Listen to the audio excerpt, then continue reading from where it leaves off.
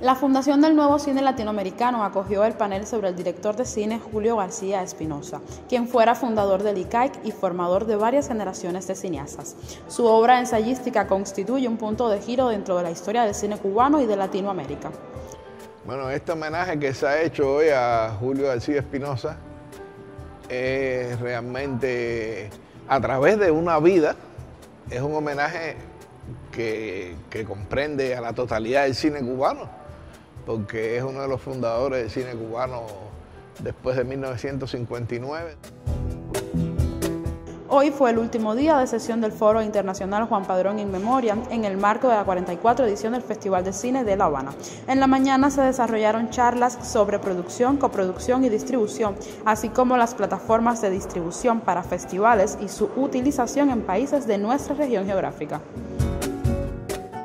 Sí, se fue un trabajo muy grande eh, durante muchos meses que hoy está se realizando y creo que se empieza ahora un bloque muy grande para se fomentar más la animación latinoamericana y caribeña como un todo, con un bloque fuerte, coheso y con muchas trocas de experiencias, de técnicas, para también conseguirmos eh, tener eh, más fomento y más troca con la América Latina.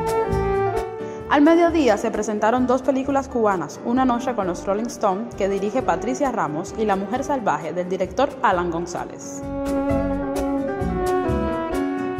Estar en el festival es un privilegio y es una oportunidad porque es, el momento en donde uno puede eh, no solo exponer su película al público cubano que es tan agradecido, la verdad, y tan amoroso, eh, sino poder ver las películas de otros colegas, ¿no? Que están al mismo tiempo que uno haciendo sus propias películas y eso es una oportunidad muy bonita.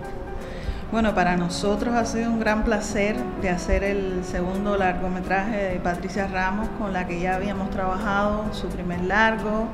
El Techo, eh, que estuvo nominado a los premios Platino Iberoamericano, el cortometraje El Patio, de, mi, casa, también, y bueno, nos convidó a hacer esta película un poco compleja y anecdótica también, en cierto sentido. Es interesante, primero porque eh, conocemos el estilo narrativo de, Patricia, eso es un punto a favor, y entonces la idea de la música es ayudar a la narrativa de la película, es decir lo que no dicen las palabras ese es el sentido primario de la, composición del cine.